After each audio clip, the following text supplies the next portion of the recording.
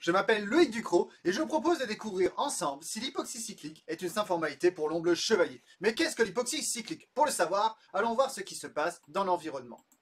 Vous avez ici un magnifique écosystème riche en oxygène. Cet oxygène permet à nos poissons de réaliser correctement leur métabolisme, c'est-à-dire d'assurer le bon fonctionnement de leur organisme. On dit qu'ils sont normoxy. Le petit problème, c'est que ces derniers temps, il y a eu une intensification des activités agricoles qui a apporté des nutriments dans l'eau. Ces nutriments ont permis l'accroissement des populations d'algues. Alors pendant la journée, il n'y a pas trop de problème parce qu'elles consomment de l'oxygène via la respiration, mais elles en produisent également via la photosynthèse. Le petit X, c'est lors de la tombée de la nuit. Parce que la nuit, il n'y a plus de photosynthèse et elles ne font que consommer massivement de l'oxygène. On a alors une chute de la, concentration en oxygène dans le milieu, les poissons vont plus avoir assez d'oxygène pour assurer correctement leur métabolisme, on va dire qu'ils sont en hypoxie, et cela va leur causer un stress majeur, voire leur mort. Et on va avoir un retour de l'oxygène lors de la journée. On a ainsi un cycle d'alternance entre des conditions de normoxie et d'hypoxie. Mais alors, qu'est-ce qui se passe vraiment? Lors de l'hypoxie, le problème majeur, ça va être la production d'ATP. Cet ATP est l'énergie, la forme d'énergie utilisable par notre organisme pour fonctionner. Elle est produite par les mitochondries, des petites entités cellulaires qui consomment de l'oxygène pour produire cet ATP. On va se donc se retrouver avec la situation où, si on diminue la concentration d'oxygène, on va diminuer l'ATP qui est produit. Si notre boisson ne diminue pas sa consommation d'ATP, il va alors décéder. Mais s'il arrive à s'acclimater, il va réduire sa, consommation d'ATP et on va avoir réduire le décalage finalement entre ATP produit et consommé et il va survivre. Mais cela ne va pas se faire sans coût. Il va devoir décroître son taux métabolique, sa synthèse son taux de synthèse des protéines et cela va engendrer un retard de la croissance et de la reproduction. Lors de la réoxygénation, tout n'est pas rose non plus, car lors de l'hypoxie, notre, mitochondrie est un petit peu à l'arrêt. Il va y avoir ce qu'on appelle une accumulation du succinate, qui ne peut plus être utilisé par la mitochondrie. Donc on a l'accumulation du succinate, et lors de la réoxygénation, ce succinate est consommé massivement, et va créer une augmentation, un flux de protons énorme finalement au sein de la mitochondrie, qui va alors produire des espèces réactives d'oxygène. On va avoir une explosion oxydative qui va créer des déficiences mitochondriales qui peuvent s'avérer très dangereuses pour notre poisson. Le petit problème ici, c'est qu'on ne sait pas trop finalement ce qui se passe chez nos poissons lorsqu'ils sont confrontés à l'hypoxie cyclique. Et c'est à ça qu'on va essayer de répondre aujourd'hui dans cette, présentation. Nos deux objectifs majeurs vont être d'aller voir les effets sur la croissance des réserves énergétiques ainsi que sur le métabolome. Afin de répondre à cette question, nous avons exposé des ombres chevaliers, Salvelinus alpinus, à un mois de normoxie, les poissons contrôle, ou à un mois d'hypoxie cyclique. Cela est possible grâce à cette machine qui nous permet à la fois de contrôler la température, la photopériode et ce qui nous intéresse ici, la concentration d'oxygène. Allez, venez, suivez-moi. attention. Tout au long de cette expérience, nous avons réalisé un suivi de la croissance de nos poissons, en allant mesurer leur masse, leur longueur, ainsi que leur indice de condition. Cet indice est un rapport entre la masse et la longueur du poisson, et qui est un indicateur de l'état de santé de ce dernier. À plusieurs temps d'expérience, nous avons prélevé le foie et le muscle blanc de nos poissons, afin de mesurer par dosage colorimétrique les triglycérides dans le foie et le glucose et glycogène dans le muscle blanc, des réserves énergétiques essentielles pour nos poissons. Grâce à la spectroscopie à résonance magnétique, nous avons pu caractériser le métabolome du foie, c'est-à-dire les molécules qu'on retrouvait dans ce tissu.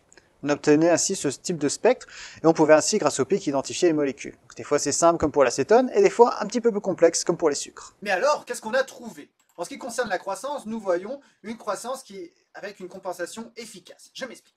Donc on n'observe pas grand-chose au niveau de la longueur, par contre au niveau de la masse, on voit quelque chose de très intéressant. Nous avons par exemple ici donc la croissance spécifique de la masse en fonction du temps. En bleu les poissons en normoxie, en orange les poissons en hypoxie cyclique. Et ce que l'on voit, c'est que les 10 premiers jours semblent compliqués, car on a une prise de masse plus faible chez nos poissons en hypoxie cyclique, en tout cas une tendance, mais cette tendance est à la hausse après une vingtaine de jours. Donc finalement, nous aurons, on observerait ici une, croissance compensatoire de la, part de nos poissons en hypoxie cyclique, qui finalement, à la fin de de, de 30 jours à l'hypoxie cyclique, aurait une acclimatation réussie, car leur croissance serait quasiment similaire à des poissons qui sont en normoxie.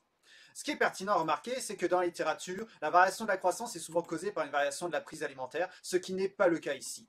Et donc nos poissons effectueraient un compromis énergétique. D'ailleurs, à ce propos, allons voir les réserves. Et on observe quelque chose d'ailleurs de très étrange.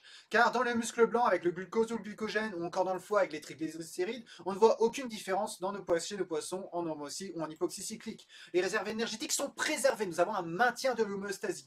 Mais cela ne veut pas dire qu'il ne se passe rien pour autant. Allons voir le métabolome du foie, c'est-à-dire la variation de la concentration de certaines molécules, certains métabolites dans cet organe, qui est primordial pour le métabolisme énergétique. Donc, nous avons comparé le jour 1 et le jour 30.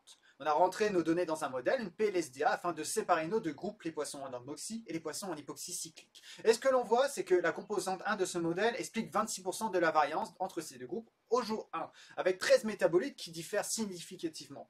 Alors qu'au jour 30, c'est plus la même affaire. La composante 1 n'explique plus que 14% de la variance, et seulement deux métabolites varient significativement. Donc nous avons une profonde réorganisation au jour 1, suivie de différences mineures à la fin de l'éclimatation à l'hypoxie cyclique. Pourquoi? Car le premier jour, on a une exposition qui est aiguë. Donc ici, on a différentes voies métaboliques et on voit qu'elles sont plutôt perturbées, que ce soit au niveau des protéines, des lipides ou encore du glycogène.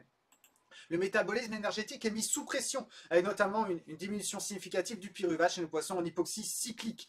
On observe également un rôle majeur de l'alanine et du glutamate, qui sont impliqués dans la production d'énergie. Un glutamate qui est réduit chez nos poissons exposés à l'hypoxie cyclique, et l'alanine qui est augmentée. Pourquoi elle serait augmentée? En fait, elle proviendrait de la dégradation des protéines dans le muscle de nos poissons, afin de produire l'énergie dans ce tissu. Alors que ce qui est pertinent aussi à remarquer, c'est que ces résultats sont pas mal similaires à d'autres espèces qui résistent plutôt à l'hypoxie, telles que certaines carpes ou encore certaines tortues. Et donc, ce qui est surprenant à observer, c'est ces similarités, alors que nous sommes chez des salmonidés, qui d'habitude résistent moins à ce type de conditions extrêmes.